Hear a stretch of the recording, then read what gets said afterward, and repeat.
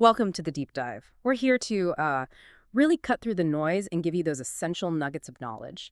Today, we're tackling something pretty significant, trying to fast track your understanding of modern cloud data engineering.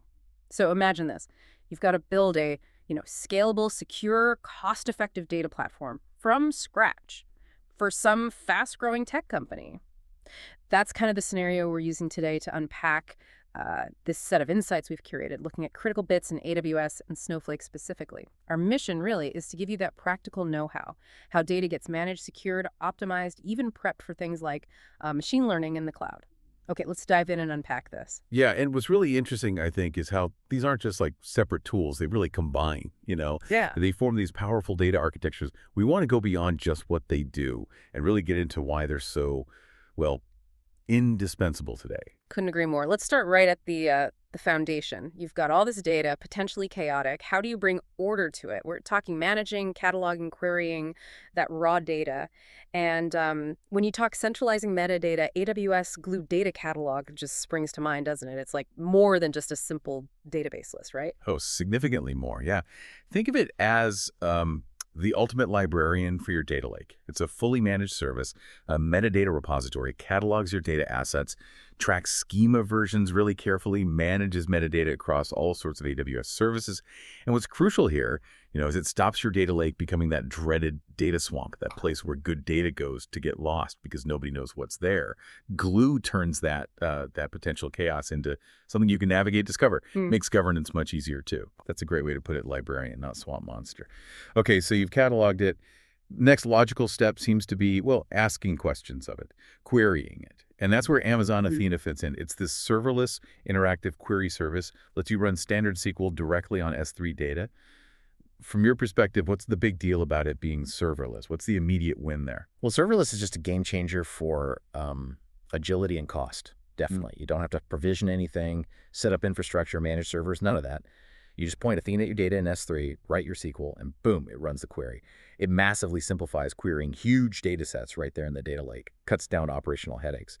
But uh, that simplicity brings up a key performance question. What kind of data actually works best with Athena? Yeah, that's super practical. A question every data engineer hits, right? Athena really performs best with specific file formats, ones optimized for speed and uh, storage efficiency. We mean things like columnar formats, Parquet, ORC, and also row-based ones like Avro. These aren't just, you know, fancy names. They're designed to be really fast and compact for this kind of work. Exactly. And this is where it gets vital for anyone watching their cloud spend. It's not only speed, it's cost optimization. Using formats like Parquet, you seriously cut down the amount of data Athena needs to scan. And less data scanned means a smaller bill. Simple as that. Conversely, look, you can query plain old text files, TXT files. Technically possible, but they are absolutely not optimized for Athena. Performance will be way slower, cost much higher because Athena has to scan the entire file Hmm. every time. That's a, let's just say, a quick way to learn about optimization through, well, painful experience. Huh, yeah, a lesson maybe learned the hard way sometimes. Okay, so that focus on optimizing for queries on S3, it kind of naturally leads us towards dedicated data warehouses like Amazon Redshift. There, these optimization ideas are taken maybe even further for heavy analytical workloads. How does Redshift really squeeze the most out of data storage for performance? Right. Redshift uses a couple of uh, key strategies. First is compression encoding. It basically shrinks the storage footprint of your data. Less data on disk means less data to read, so better I.O., Ah. faster queries. Second, and maybe even more fundamental, is its use of columnar storage. So instead of storing data row by row like a spreadsheet, it stores it column by column. The brilliance here isn't just that queries can be faster, it's how it fundamentally changes analytical performance. Imagine you need just one column, like sales amount, across, say, billions of rows. A traditional row-based system loads everything, but columnar. Redshift just grabs only that sales column data. It makes some analyses that were, you know, practically impossible for feel instantaneous and way cheaper to run. That really is a powerful shift in how you access data. Okay, let's pivot a bit. Something totally non-negotiable for any data platform security. Especially securing that cloud data lake often built on Amazon S3.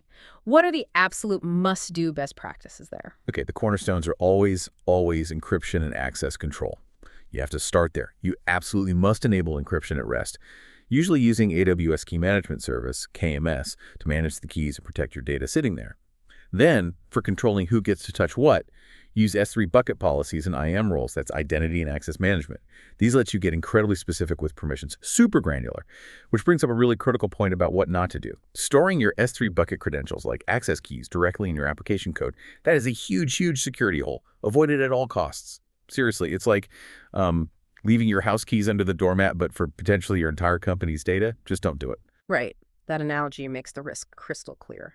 Okay, so we've covered some solid AWS foundational and security stuff. Let's maybe broaden out now and look at another major player, Snowflake. How does it tackle some of these advanced capabilities? Especially around, say, data recovery. Their cross-region replication feature gets talked about a lot for cost-effective disaster recovery. Why is that such a big deal? Well, what's really compelling about Snowflake's cross-region replication is how it handles keeping synchronized copies of your data. It can do this across different geographic regions or even, interestingly, across different cloud providers. So AWS to Azure, for instance. This obviously boosts resilience massively, helps with business continuity. But it's the cost effectiveness that often stands out. Instead of you having to build and manage some complex, you know, active passive DR setup yourself, Snowflake just handles the replication pretty seamlessly. It often leverages the underlying cloud infrastructure really efficiently. So you get robust DR without that traditionally massive operational and capital cost. That's a serious benefit, yeah, especially for planning resilient strategies. Now, something maybe a bit more day-to-day. -day. Creating filtered subsets of data, say from existing tables. Snowflake has that very direct create table as select command or CTAS. Where does that kind of feature really shine for engineers or analysts who practice? Well, it's incredibly useful, a really common pattern, actually. You might use it to spin up a smaller filtered table for a specific analysis, mm -hmm. you know, without messing with the big original table. Or maybe you're prepping data for an ML model and you just want to pull out relevant features or its specific date range. CTAS lets you do that quick, sort of on-the-fly data prep and exploration. It's a powerful tool for fast prototyping, subsetting data for other processes, or even just quick ad hoc checks.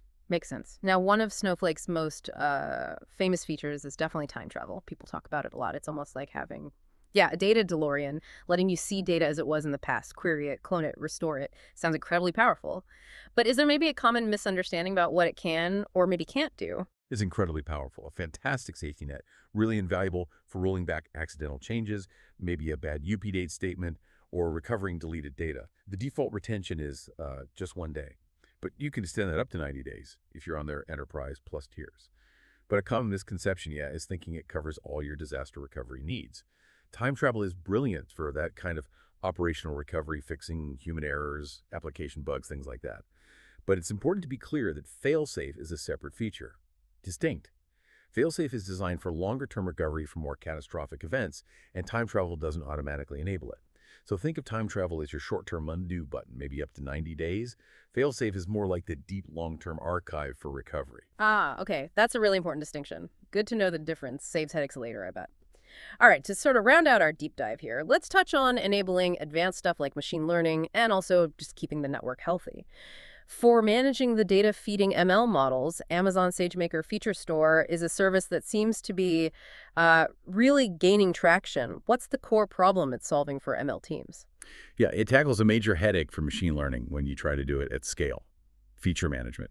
It's basically a fully managed central repository specifically for creating, storing, and crucially, sharing ML features. Mm. Before tools like this, you know, teams often ended up duplicating work, recreating the same features for different models, or really struggling with versioning consistency. Feature Store just makes it way easier to reuse features across models, even across different teams. It speeds up development, helps ensure consistency, and makes models more reproducible. Streamlining that whole messy process. Okay, last piece then. Just ensuring your network is solid especially uh, between cloud resources and maybe on-premises data centers and hybrid setups, that connectivity is vital. Amazon VPC Reachability Analyzer, that's the tool for checking that, right? Yes, absolutely indispensable for complex setups. VPC, that's Virtual Private Cloud Reachability Analyzer, is a diagnostic tool. It analyzes and verifies if network paths are open and working correctly between your AWS resources or between AWS and your own data centers via VPN or Direct Connect. In those complex hybrid environments, trying to manually figure out why something can't connect can be, well, a real nightmare. This tool gives you a clear, logical analysis of the path, highlighting any configuration issues like firewalls or routing problems, helps you troubleshoot connectivity way faster. It's kind of like having a, uh, a network detective on call. Network Sherlock Holmes. I like it. And uh, maybe a final thought to leave you with. As data just keeps exploding in volume and complexity, how do you think those core principles of data discoverability and governance things, exemplified by services like Glue Data Catalog, how might they need to evolve so we can actually maintain control and understanding over these ever-growing data landscapes? Something to ponder.